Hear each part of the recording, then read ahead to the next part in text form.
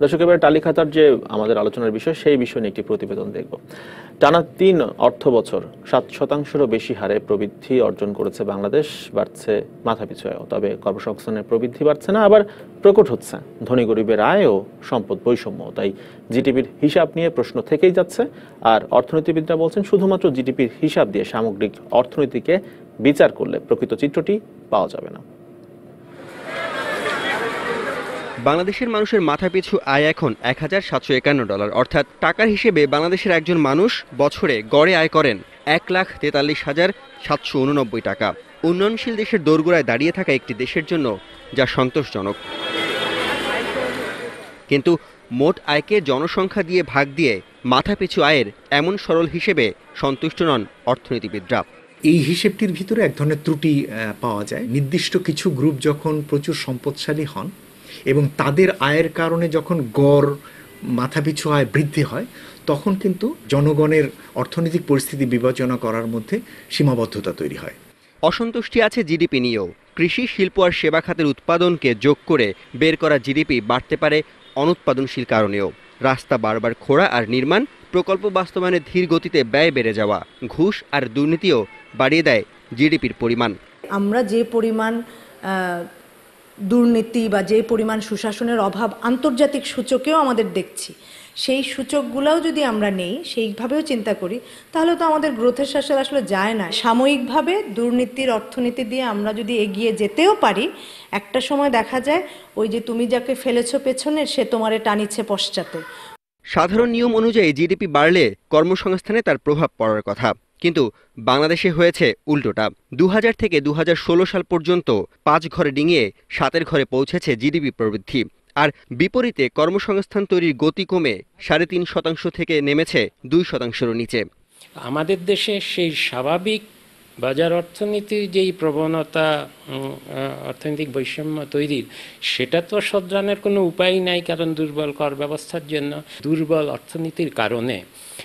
এই সম্পদ এবং আয় পুনর্বন্টনের তেমন কোনো সুযোগ সুবিধা নেই। তাই টেকসই উন্নয়নে সুশাসন নিশ্চিত করাকেই গুরুত্ব দিচ্ছেন অর্থনীতিবিদরা। দেশে যেটা কিছুটা আরিফ রহমান ডিবিসি নিউজ ঢাকা। অর্থনীতি দর্শক আমার রিপোর্টটি দেখে নিলাম। এবারে ফিরছি টালি খাতার মূল আলোচনায়। আমাদের আজকের আলোচনার বিষয় আহ, টালি খাতার জিডিপি বাড়ছে কর্মসংস্থান বাড়ছে কি? শর্মেন্দ্র নিলর্মী আপনি প্রতিবেদনটি দেখলেন। সেখানে বলা হচ্ছে যে টানা তিন বছর ধরে সাত শতাংশের উপরে আমরা ধারাবাহিকভাবে প্রবৃদ্ধি অর্জন করে চলেছি কিন্তু সে অনুযায়ী কর্মসংস্থান বাড়ছে না। এর পেছনে কি কারণ বলে আপনার মনে হয়? আচ্ছা প্রথমে বলে নেই যে সাত শতাংশের উপরে জিডিপির প্রবৃদ্ধি এটা হচ্ছে আপনাকে প্রশংসা করতেই হবে। আপনি অর্থনৈতিক সূচকে কি কি দেখছেন সেগুলো ভিন্ন বিষয়, কিন্তু জিডিপির সূচকে আমাদের অর্থনীতি এগোচ্ছে।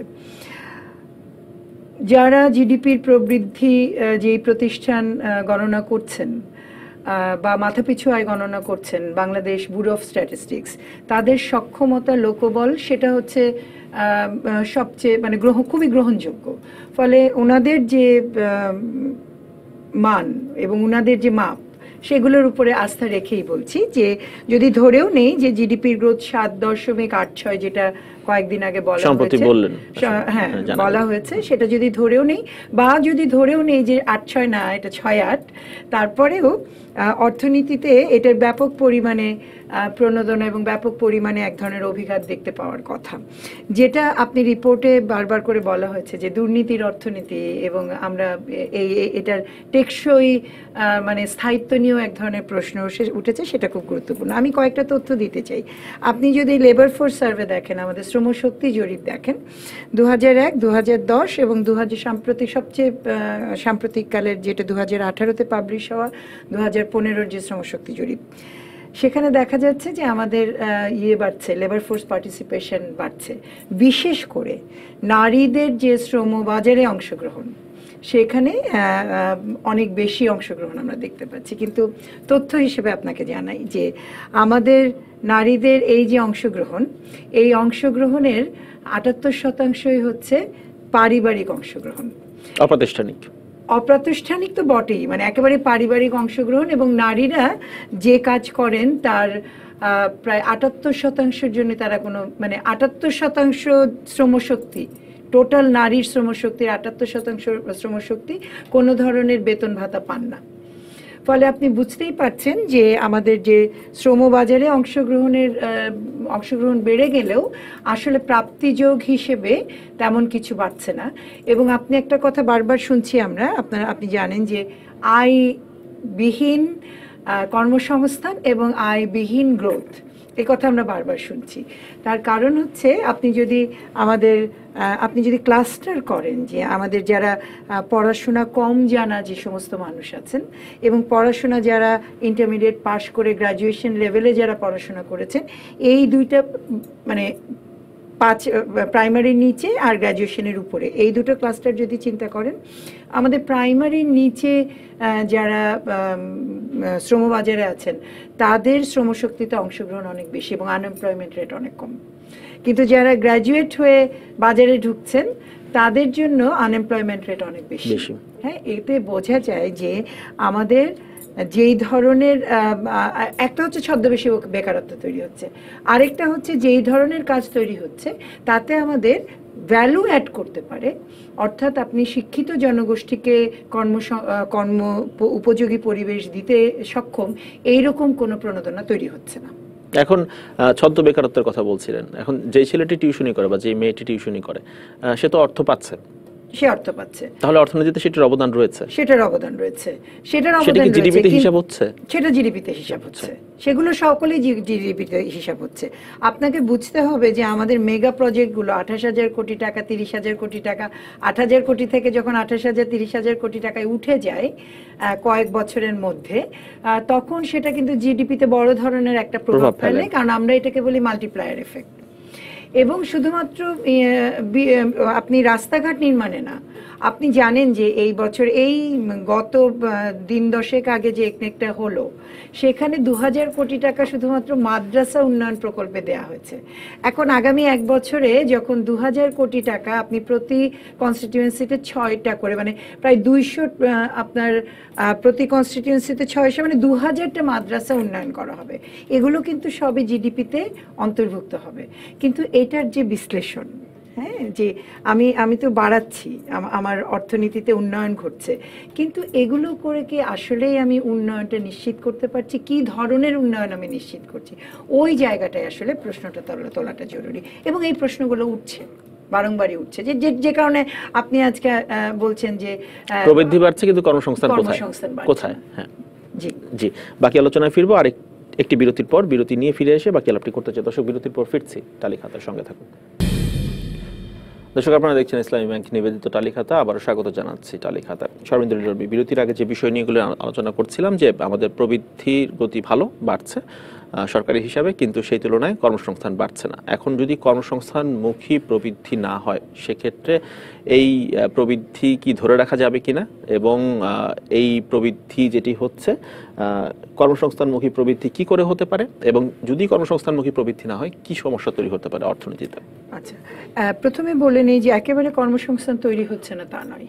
আপনি যদি আনএমপ্লয়মেন্ট রেট দেখেন, আমাদের কিন্তু মোটামুটিভাবে খারাপ না হ্যাঁ? আমাদের কর্মসংস্থান তৈরি হচ্ছে এবং শ্রমবাজারে নতুন কাজ তৈরি হচ্ছে এবং সরকার দরিদ্র জনগোষ্ঠীর জন্য আমাদের সোশ্যাল সেফটি নেটও কিন্তু বড় অঙ্কে আসছে। প্রতিটা বাজেটের কিন্তু প্রবৃদ্ধির গতির সাথে তাল মিলিয়ে কর্মসংস্থান কিন্তু কর্মসংস্থানের কোয়ালিটি যেটা আলোচনা করছিলাম বিরতির আগে যে আপনি কাদের জন্য কর্মসংস্থান তৈরি করছেন এবং সেই জনগোষ্ঠী আর বাদেও তো আরও জনগোষ্ঠী রয়েছে তাদের জন্য কি ধরনের প্রণোদনা আপনার নীতি কৌশলে থাকছে? আহ, ফলে দেখা যাচ্ছে আপনি আইএলওর যদি আপনি ডেফিনিশন ধরেন যে আমরা যে আগে, ধরেন আশির দশকে, সত্তরে, নব্বইতে যখন আমাদের দারিদ্র্য অনেক বেশি ছিল, আমাদের আমরা কিন্তু যে কোনো জবই গ্রহণ করতাম। এখন কিন্তু আমরা যে কোনো জব গ্রহণ করতে দ্বিধা করি এবং আমরা খুঁজি যে কোনটা আমাদের ভালো অপশন অর্থাৎ আপনি এখন হচ্ছে গু নট অনলি গুড জব আপনি ডিসেন্ট জবের দিকে যাবেন আর কি হ্যাঁ? আপনার যেটাতে আপনার ডিগনিটি থাকবে, আপনি অনেক ভাবনা চিন্তা করে এখন অ্যাকসেপ্ট করবেন। যেমন ধরেন, আমি লোকাল গভর্নমেন্টের সাথে কাজ করি এবং লোকাল গভর্নমেন্টে ধরেন এলজিইডির সাথে কাজ করার সুযোগ হয়েছে ওয়াটার বোর্ডের সাথে কাজ করার সুযোগ আছে। সেখানে আপনি মাটির কাজে স্থানীয় জনগণকে সম্পৃক্ত করার কথা বলা হয়েছে এবং তারা করেন। কিন্তু ইদানিংকালে শ্রমিক পাওয়া যায় না। কারণ হচ্ছে, ওনারা অন্য কাজে ব্যস্ত থাকেন। তার মানে আপনি আপনার দারিদ্র হার যেহেতু কমছে, সাথে সাথে মানুষের তো এমপ্লয়মেন্ট অপরচুনিটি বাড়ছে, না হলে দারিদ্র্যের হার কমবে কেন? ফলে আপনি যখন একটা মেশিন যখন এসছে তখন মেশিন দিয়ে তো আপনি তাকে কাজ করতে হবে কন্ট্রাক্টর মেশিন দিয়ে কাজ করেন।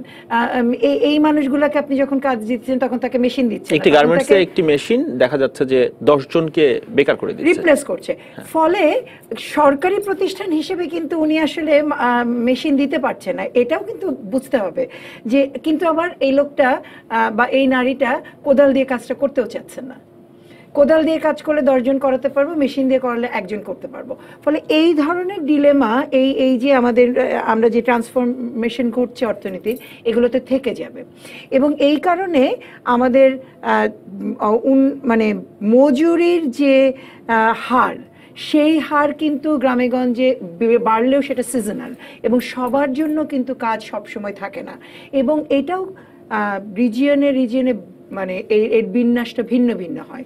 যেমন আপনি যদি দারিদ্র নিরসনের হার দেখেন সাউথ ওয়েস্ট বেল্টে দারিদ্রের হার অনেক বেশি।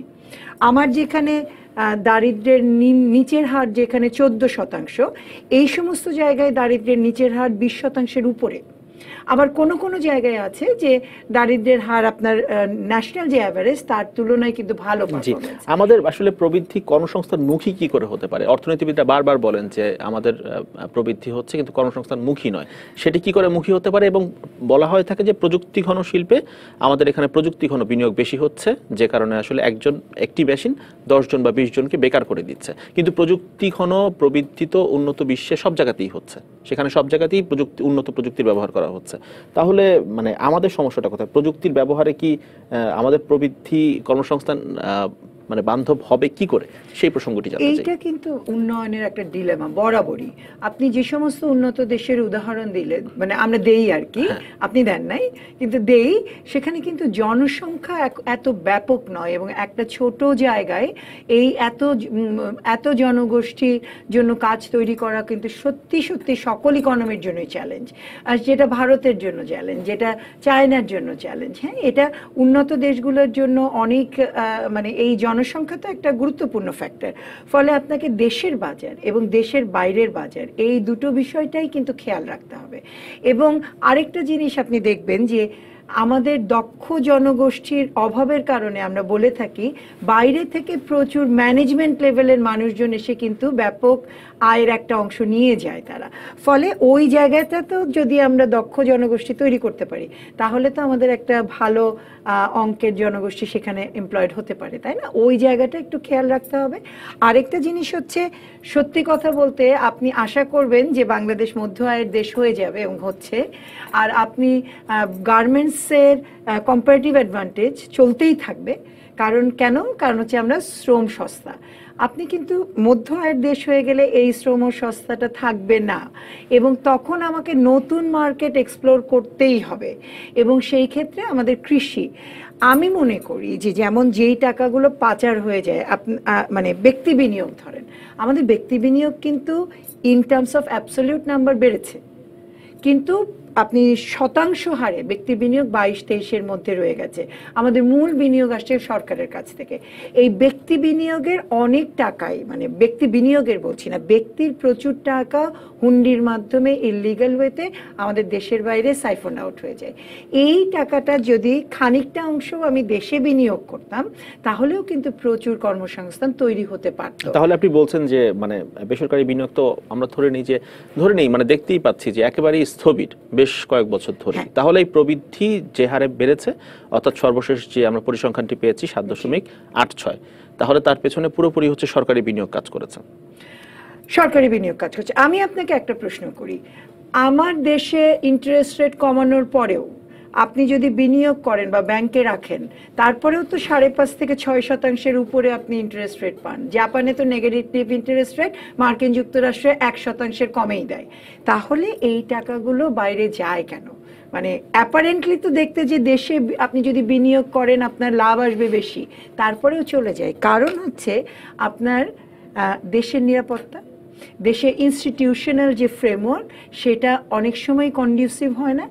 এবং যাদের হাতে টাকা রয়েছে তাদের ছেলে মেয়েদেরকে আসলে দেশে রাখতে তারা উৎসাহ পান না তারা বাইরে চলে যান। ফলে আপনি দেখবেন যে একটা জনগোষ্ঠীর পরে সেকেন্ড জেনারেশন এটা এরা কেউই দেশে থাকছে না। দেশে যদি আপনার সন্তান না থাকে আপনার টাকা দেশে রাখবার কোনো প্রণোদনা তো আপনার নাই। জি, যদি- কেন আপনার সন্তান দেশে থাকে না? কারণ নিরাপত্তা। জি যদি বিষয়টি এমনই হয় সরকার বিনিয়োগ করছে বড় বড় প্রকল্পে যে কারণে প্রবৃদ্ধির গতি বাড়ছে। কিন্তু সরকার তো অনেক বড় বড় প্রকল্পে ঋণ বিনিয়োগ করছে ঋণ করে। তাহলে এই যদি বেসরকারি বিনিয়োগকে আমরা প্রবৃদ্ধির সাথে যুক্ত করতে না পারি, সরকার যে ঋণ করে বড় বড় প্রকল্পে বিনিয়োগ করছে, এই প্রবৃদ্ধি তাহলে কি আসলে সাস্টেনেবল হবে কিনা? দেখেন, কোনো দেশেই, পৃথিবীর কোনো দেশেই লাগাতারভাবে প্রবৃদ্ধি সাত, আট, নয় মানে বছরের পর বছর, দশকের পর দশক ঘটেছে, এরকম কিন্তু নয়।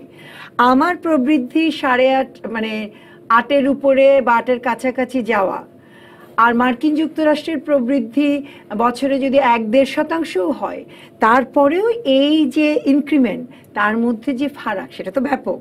ফলে আমার জন্য চট করে সাত থেকে আট আট থেকে আরেকটু বেশি যাওয়া সম্ভব। চট করে বলছি না, এর মধ্যে এফোর্ট লাগে, কিন্তু সম্ভব, যেটা উন্নত দেশগুলোর পক্ষে সম্ভব না।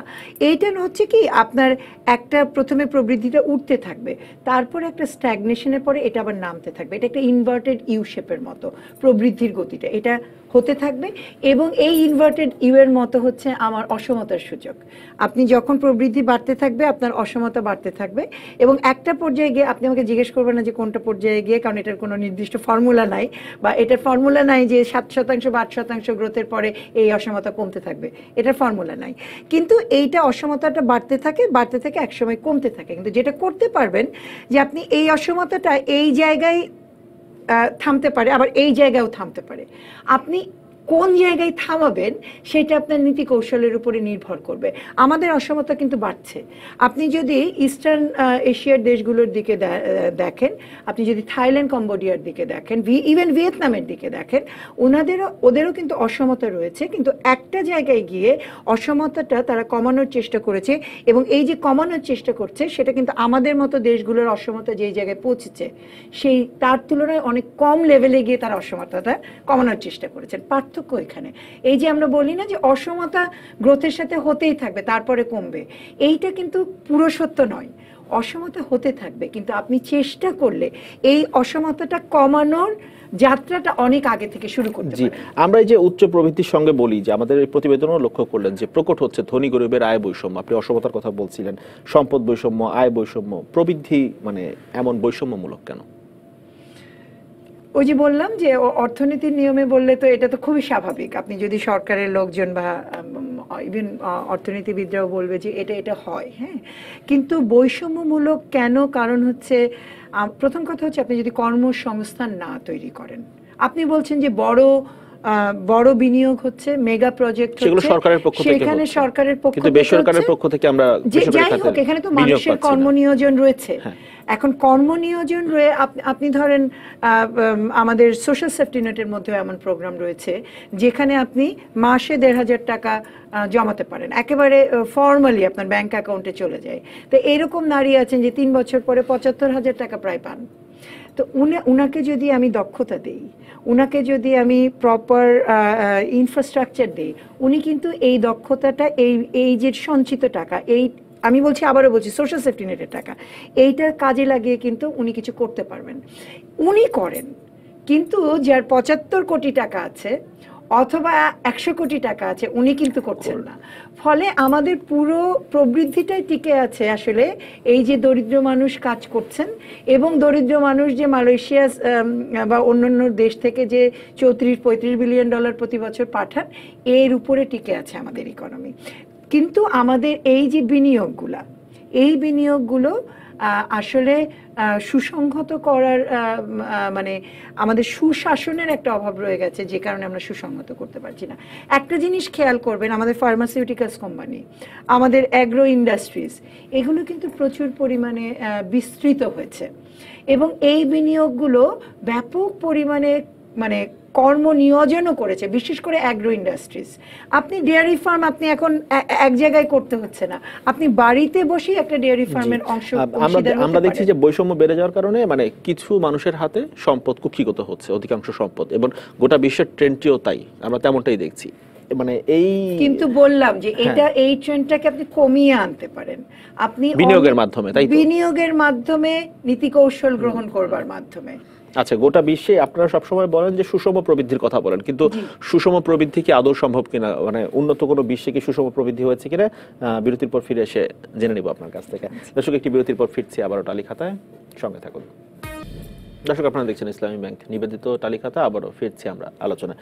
সর্বেন্দ্র নর্মী বিরতির আগে যে প্রশ্ন রেখে গিয়েছিলাম, যে সুষম প্রবৃদ্ধির কথা অর্থনীতিবিদরা সবসময় বলেন, যেখানে কোনো বৈষম্য থাকবে না, যেই প্রবৃদ্ধির সঙ্গে সঙ্গে কর্মসংস্থান হবে তাল মিলিয়ে। সেটি কি আদৌ সম্ভব কিনা? উন্নত বিশ্বে কোথাও কখনো হয়েছে কিনা সুষম প্রবৃদ্ধি? আমি উন্নত বিশ্বের কথা বলব না। আমি বলব যে মানে আমি যদি হিস্টোরিক্যাল যে, উন্নয়নের ধারাবাহিকতা, সেটা যদি বিভিন্ন দেশের ক্ষেত্রে দেখি, তাহলে সেটা বোঝার জন্য সুবিধা হবে। Brazil, Mexico, Argentina, South Korea, এর উদাহরণগুলো প্রায়ই আসে। ব্রাজিল, মেক্সিকোর উদাহরণ তার উন্নয়নের যে ধারা, সাউথ কোরিয়ার উন্নয়নের ধারা কিন্তু একই নয়। যদিও সাউথ কোরিয়া যখন উন্নত হচ্ছে, সেই সময় তাদের প্রবৃদ্ধির সাথে অসমতাটার অসমতাটা বেড়েছে খানিকটা, বেড়েছিল।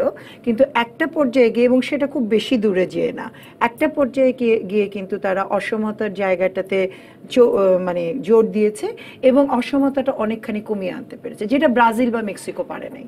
ফলে আপনি যখন অসমতাটা কমিয়ে আনতে পারবেন না, তখন কিন্তু তার স্থায়িত্বশীল উন্নয়ন আশা করাটা খুব দুরূহ হয়ে যায়। ফলে আমি বলব যে সুষম প্রবৃদ্ধির উদাহরণ নাই এমনটা বলাটা কঠিন হবে। আরেকটা জিনিস হচ্ছে শিল্প বিপ্লবের সময়কাল থেকে এই যাবৎকালে তিনশো বছরে আমার যে অভিজ্ঞতা, শিল্প বিপ্লব শুরু করে যখন কাজ শুরু করেছিল আজকের উন্নত দেশগুলো, তখন তার সেই অভিজ্ঞতা ছিল না। তাহলে আমি তার অভিজ্ঞতা থেকে কেন শিখব না?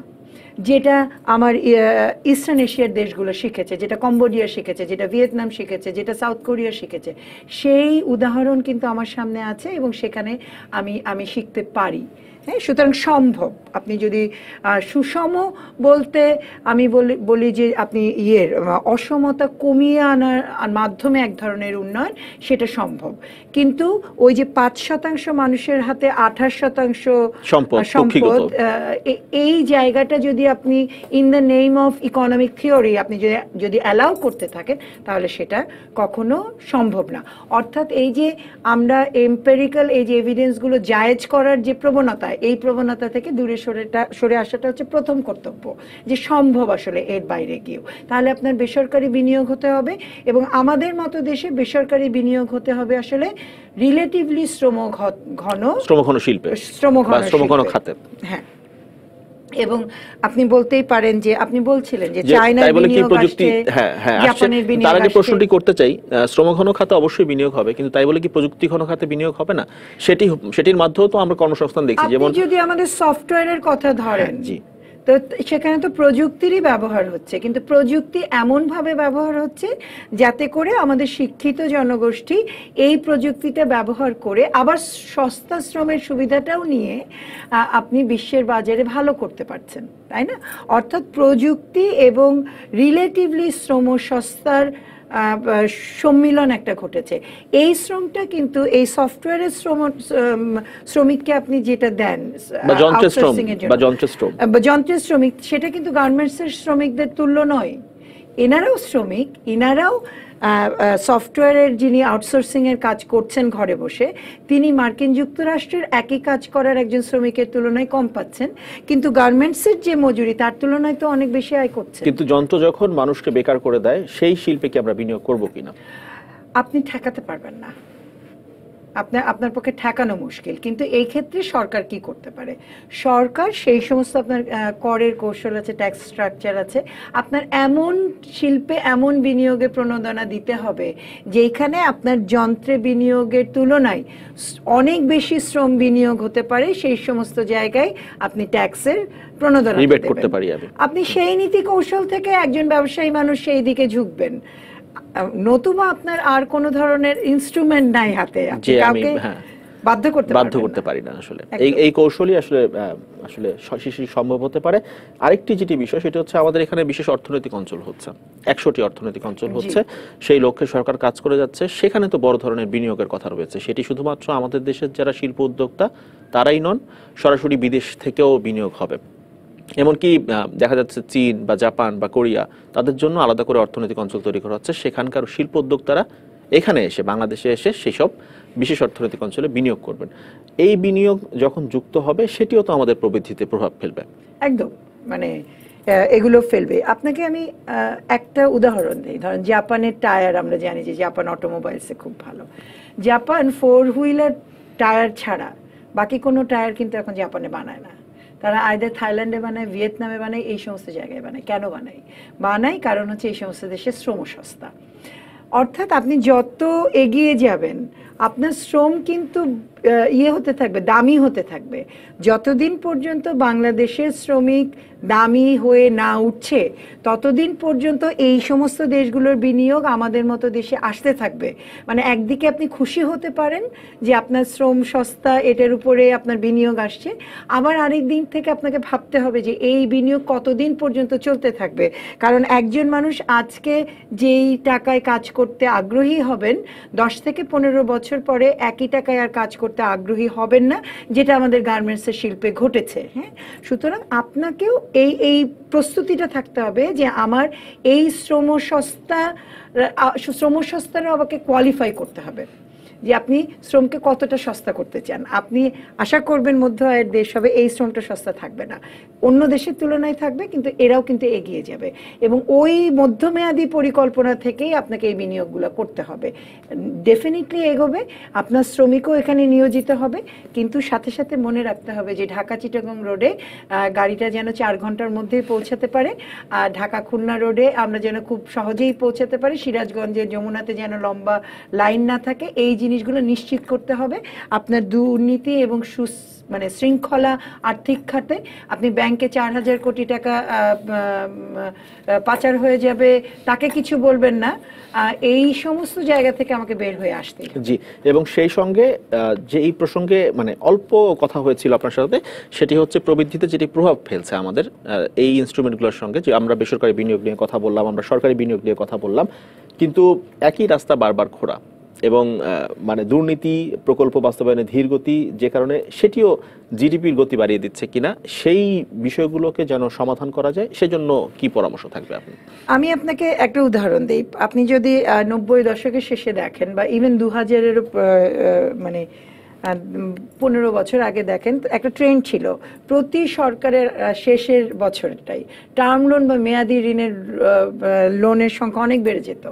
একটা আমরা হাসতাম, আমরা বলতাম যে এটা মনে হয় ওই যে মেয়াদি লোন দেওয়া হয় হচ্ছে শিল্পের প্রতিষ্ঠার জন্য। কিন্তু দেখা যাচ্ছে যে শিল্প প্রতিষ্ঠা করলে তো আপনার ইলেকট্রিসিটি কনজাম্পশন বাড়বে machinery capital equipment expo import বাড়বে, সেগুলো কিছু ঘটে না। অর্থাৎ শেষ বছরে আপনি পলিটিক্যালি চার্জড হয়ে বেশ কিছু লোন দেন, শিল্পের নামে, প্রতিষ্ঠা করবার নামে এবং সে কারণে আপনার ব্যাংক ডিফল্টারের তৈরি হয়। এখন কিন্তু আবার মেয়াদির এই প্রবণতাটা দেখা যাচ্ছে যে আপনি মেয়াদি ঋণে দিচ্ছেন না, কিন্তু আপনি দু হাজার কোটি দিয়ে দিচ্ছেন মাদ্রাসার উন্নয়নের নামে। ফলে প্রবণতাটা ব্যাংকিং খাতের এই যে ডিস্ট্রিবিউশনও কিন্তু বদলে গেছে। আমাদের মানে এটা তো নতুন কোনো কথা নয়, এটা হচ্ছে আপনি একদম নৈর্ব্যক্তিকভাবে। রাজনীতি তো অর্থনীতির সাথে সম্পর্কিত। কিন্তু গণতান্ত্রিক ব্যবস্থার একটা সবচেয়ে বড় সৌন্দর্য হচ্ছে সমালোচনা শুনতে চাওয়া এবং সমালোচনাকে সহ্য করা। এবং এই যে আমরা কথাগুলো বলি, এই কথাগুলোকে সরকারের বিরোধিতা হিসেবে না নিয়ে, এটা আমরা সকলেই কিন্তু এই দেশটাকে একটা সহায়ক, যে যেখানে থেকে পারি সেখানে একটা সহায়ক শক্তি হিসেবে কাজ করতে চাই। এই সমালোচনার মানে কর্মহীন গ্রোথ মানে এটা নয় যে কর্ম তৈরি হচ্ছে না। কর্মহীন গ্রোথ মানে আমি এটা বলতে চাচ্ছি যে, আমরা বলতে চাই যে যেই কর্ম তৈরি হচ্ছে, এখন আমি আরও ভালো কর্ম নিয়োজন চাই। অর্থাৎ যেটুকু তুমি করেছ সেটুকু খুবই অ্যাপ্রিসিয়েবল কিন্তু আরও বেশি করতে হবে। এই মনোভাব নিয়ে আসলে যদি না চলতে পারি তাহলে আসলে কথা বলেও লাভ নেই এবং কোনো কিছু ঘটবে না। আমার কাছে মনে হয় ঘটনা দৃষ্টে যা মনে হচ্ছে এই মাইন্ডসেটটার অভাব রয়ে গেছে এই মাইন্ডসেটটা তৈরি করতে আর সবশেষ যেটি জানতে চাই সেটা হচ্ছে সরকার যখন এই ঋণ ফেরত দেবে বড় বড় প্রকল্পে যে বিনিয়োগ হয়েছে তখন আমাদের অর্থনীতির অবস্থা কি দাঁড়াবে? যখন আমাদের এগুলো ফেরত দিতে হবে তখন কোনো সংকট তৈরি হবে কিনা প্রবৃদ্ধিতে? আপনি যখন একটা মেগা প্রজেক্ট হয়ে যায় ধরেন আপনি পদ্মা ব্রিজ হয়ে গেল তখন তো আশেপাশেও বিনিয়োগ তৈরি হবে। ফলে শুধুমাত্র এই এই আজকে এই কাঠামোটার কারণে এই বড় বিনিয়োগটার কারণে গ্রোথ বাড়ছে। কিন্তু এটার তো একটা আফটার এফেক্ট আছে।